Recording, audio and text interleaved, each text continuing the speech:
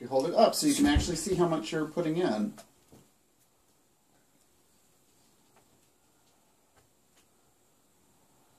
Done. Okay, put the lid back on. Now time for the danger. Not really. Now time for the danger. Yeah, because then people are gonna get all lovely and they're gonna burn up and die. Can you carefully pour that in? Or do you need the funnel? The funnel, probably. Do you want to hold it? You want to get the um, cookie sheet put underneath? I don't think it's big enough. Oh. Will it get to me? Will it reach me? I'm videotaping it Probably. too. Do you? Do, do, do, do, do, do, do. Please tell me it doesn't. It won't reach me. Oh, it will.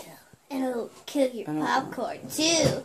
It'll kill your little popcorn Uh, too. it will. Mom, you might want to lift your thing. I will if I need to.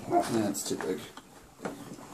What? Sit on the funnel thing.